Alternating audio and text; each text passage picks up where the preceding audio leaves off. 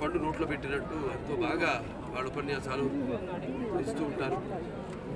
ఇవాళ మరి మనం చూస్తున్నాం ఇవాళ ఈ గుళ్ళ మీద దాళ్ళు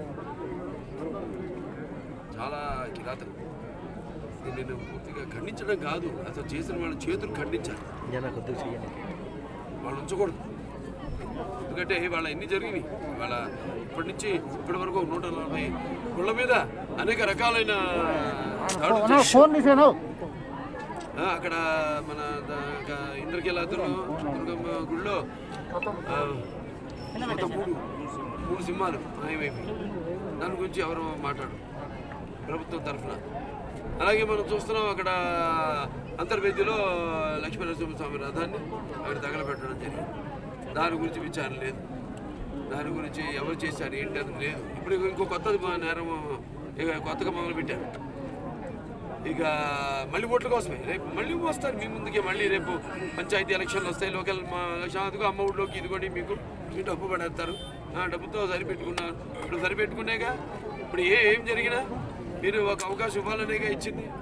మరి వాళ్ళ ఏ రకంగా మనం అభివృద్ధి చెందుతున్నాము ఒకసారి మనం ఆత్మ పరిశీలన చేసుకోవాల్సిన అవసరం ఉంది. సరే ఇవాళ మరి రాష్ట్రం ఇక్కడ చూసాం. వెన్నుముక ఒక యువత కావచ్చు లేకపోతే రైతులు కావచ్చు కార్మికులు కావచ్చు వాళ్ళ అన్ని రకాలుగా అందరూ కూడా ఎన్నో ఇబ్బందులు పడుతున్నాం. సరే వినాశకాలే విపరీత బుద్ధి. ఎవరికైనా అట్లాంటి ఆలోచనలు వచ్చినాయి అంటే అతను వినాశానికి ఈరోజు నేను చదివిన మంత్రం సర్వశత్రు నాశ నాశయాన్ని ఇక్కడి నుంచి ప్రారంభం వాళ్ళ నాశనం. ఎందుకంటే ఇప్పుడు ఏవేవో వాళ్ళు హామీలు ఇచ్చేప్పుడు లేకపోతే ప్రగల్భాలు పలికి మన రైతు పక్ష ప్రభుత్వంలో ఇప్పుడు కార్మిక పక్ష ప్రభుత్వంలో కార్మిక పక్ష ప్రభుత్వంలో ఇవాళ అధికారంలోకి వచ్చి వాళ్ళు చూస్తున్నాం మనం ఎటువంటి జరుగుతున్నాయి ఎటువంటి అక్రమాలు సరే దేవుడి ఒకటే. సార్ కొంచెం వాయిస్ పెంచండి సార్.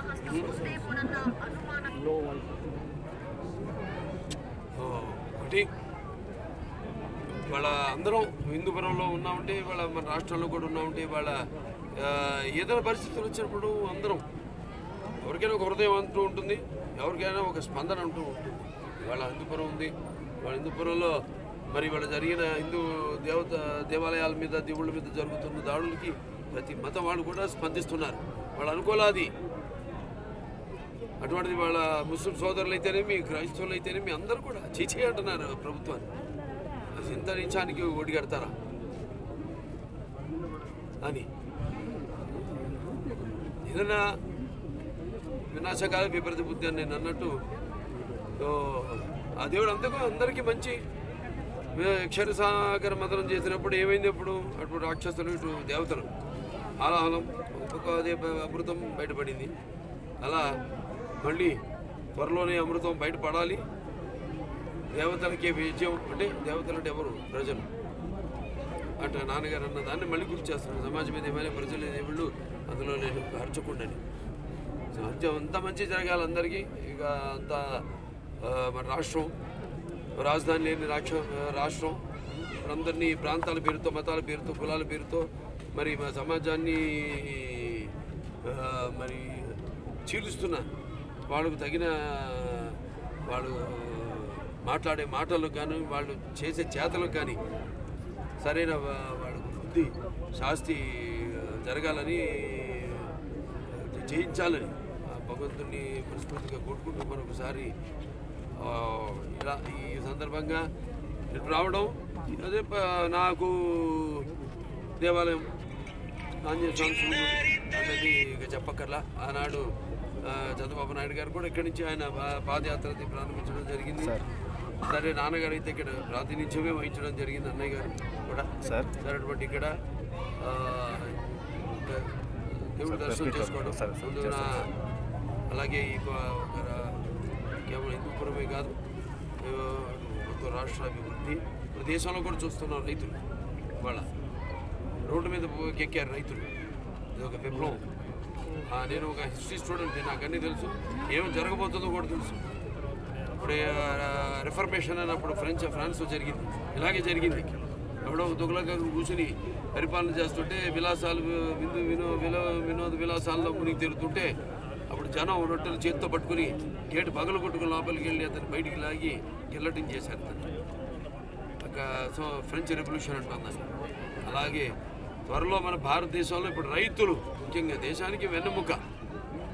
అతనికి రెక్కాడితే కానీ డొక్కాడదు అలాగే అతను కష్టాలు రెక్కాడితే అతను డొక్కాడితేనే మనకు మన ఐదేళ్ళు నోట్లోకి వెళ్తే మన కడుపు నిండుతుంది. కడుపు నిండితేనే మన బుర్ర బాగా పనిచేస్తుంది. సో వాళ్ళందరి అన్ని రంగాల్లోనూ అందరికీ ఇప్పుడు అన్యాయం జరుగుతున్న ఇది సందర్భంగా మేము ఇప్పుడు ఇక్కడి నుంచి అసలైన పోరాటం మొదలవుతుంది అని ఈ సభాముఖంగా తెలియజేసుకుంటూ ప్రతి ఒక్కరు కూడా చెప్పేది వినడం కాదు. అంటే నాన్నగారు అంటూ ఉండేవారు. అంటే అంటే భూమి మీద అందరూ పుడతారు కెడతారు కానీ అందరు మహానుభావులు కాలేరు. మనిషి మహోన్నత విజయపథంలోకి నడవాలంటే అత్యున్నత శిఖరాలకి ఎదగాలంటే సార్ సంకల్పం కావాలి అకుంఠిత దీక్ష పొనాలి నీ దారిలో నువ్వు నడవాలి. అంటే వాళ్ళ మనకి నడిపించే నాయకుడు ఉన్నాడు. వాళ్ళ రామారావు గారు రాజకీయాల్లోకి రావడం ఏమిటి? చంద్రబాబు నాయుడు గారు తదుపరి ఆయన ముఖ్యమంత్రిగా ఈ రాష్ట్ర ఆర్థిక అభివృద్ధిని చేయడం ఏంటి? లేకపోతే మన తెలుగువారి మేధస్సుని ప్రపంచవ్యాప్తంగా వాళ్ళకి ఒక గుర్తింపు తీసుకోవడం ఏంటి? యువతకు అవకాశం ఇవ్వడం ఏంటి? సో ఇప్పుడు యువత యువత యువతరానికి ప్రతినిధులు నవతానికి నాయకులు భావితరానికి భారతదేశం ఒక మహాశక్తి అయిన యువత. ఈ యువతలోనే తీసుకొస్తున్నారు ఈ కులమత భేదాలు ఇవన్నీ కూడా. వర్గ భేదాలు.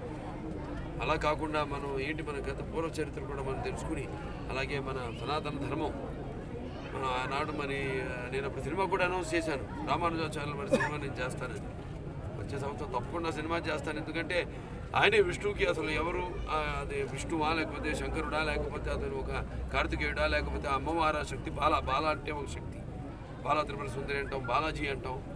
సో అది ఆయన అలాగే ఒక గుళ్ళో పూజా విధానం ఘట్టాలు. ఏం తర్వాత ఏం జరగాలన్నది ఇవన్నీ కూడా ఆయన మా మహానుభావులు వాళ్ళంతా ప్రసాదించారు మనకి అటువంటి. అలాగే మన ముస్లిం సోదరులు ఇక్కడ అందరూ కూడా ఎంతో కలిసికట్టుగా తమ తమ భేదం లేకుండా మత భేదం లేకుండా అందరూ ఎంతో కలిసికట్టుగా ఉంటున్నాం మనం. వాళ్ళ ఒక దగ్గర పూజ జరుగుతుందంటే అందరం వెళ్తాం. ఇక్కడ సాయంత్రమే వాటిలో ఒక గుడి ఇదవుతున్నానా మన మైనార్టీస్ ప్రెసిడెంట్ వినాయకుడి గుడికి ఆయనే ఆయన ఖర్చుతో ఆయన వినాయకుడి గుడి కట్టిస్తున్నాడు ఆయన. అక్కడ వాళ్ళకి సాయంత్రం భూమి పూజ ఉంది.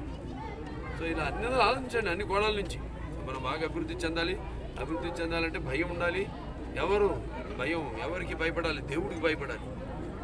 మనుషులకు మనం తప్పు చేసేంతవరకు భయపడిన అవసరం లేదు. వాళ్ళ భయంతో చాలామంది ఉన్నారు మన రాష్ట్రంలో. పోయింది మొత్తం తెలుగు సత్తా ఏంటి పౌరుషం ఏంటి ఆవేశం ఏంటి? పోయింది. మళ్ళీ ఒక స్ఫూర్తి ప్రదాయక. ఎవరు మన అన్న? నందమూరి తారక రామారావు గారిని తలుచుకోవాల్సిన అవసరం ఉంది. అలాగే ఉగ్రం వీరం మహావిష్ణుం జ్వలంతం సర్వతోముఖం నృసింహం భీషణ భద్రం మృత్యోర్ మృత్యో నమామ్యం అలాగే ఆంజనేయ స్వామి. వీళ్ళు పోరాటాలకు చెప్పుకో దగ్గర పేర్లు. సో వాళ్ళందరి స్ఫూర్తి మనలో ప్రవేశ ఆవేశ ఆవేశ మమ్మ ప్రవేశ ప్రవేశ అన్నాను మధ్యలో. ప్రవేశించి మనం ఇక్కడి నుంచి ఇక పోరాటం కొనసాగించాలని ఇప్పుడు మనస్ఫూర్తిగా కోరుకుంటూ నేను సెలవు తీసుకుంటాను ఆ ఆంజనేయ స్వామి దీవెనలు అందరి మీద ఉండాలని అందరూ అష్టైశ్వర్యాలు సుఖ సంతోషాలు భోగభాగ్యాలు గీతి వేస్తారు ఈ సంపదలు ఆయుర ఆరోగ్యం సంపూర్ణ నౌకరాలు ఆనుకూల ప్రసాదించాలని కోరుకుంటూ సెలవు అయితే ఓ లైక్ వేసుకోండి లేదంటే ఓ కామెంట్ చేయండి. ఎప్పటికప్పుడు మా వీడియోస్ చూడాలంటే సబ్స్క్రైబ్ చేసుకోండి.